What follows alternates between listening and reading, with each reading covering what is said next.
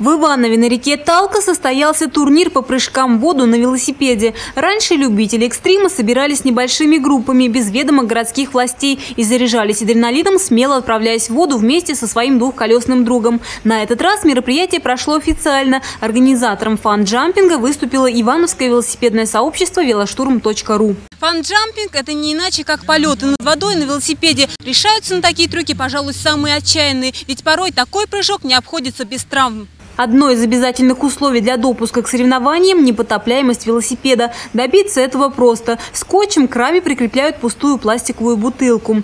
Также необходимо защитить голову. Подобное увлечение чревато ушибами о воду падают всеми частями тела, лицо, живот, пузо. Чем ровнее ногами войдешь, тем меньше получишь удар.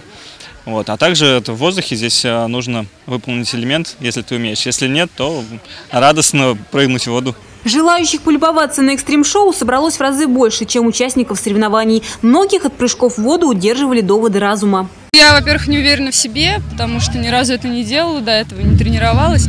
А во-вторых, нужен обязательно шлем, чтобы случайно не повредить самую важную часть – это голову. Я так думаю, что велосипед должен быть все-таки дертовый. Вот, у меня кросс-кантри, поэтому я сомневаюсь, что смогу на нем прыгнуть. Но люди прыгают и на таком.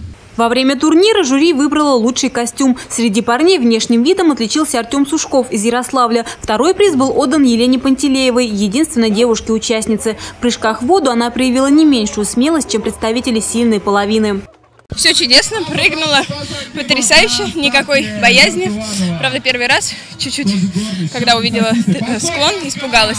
Но так, все потом пропало после первого раза. Я так прыгаю, особых трюков не делаю. Главная цель экстремалов – выступить максимально зрелищно. У многих это получилось. Пируэты в воздухе, забавные кувырки и море брызг никого не оставили равнодушными.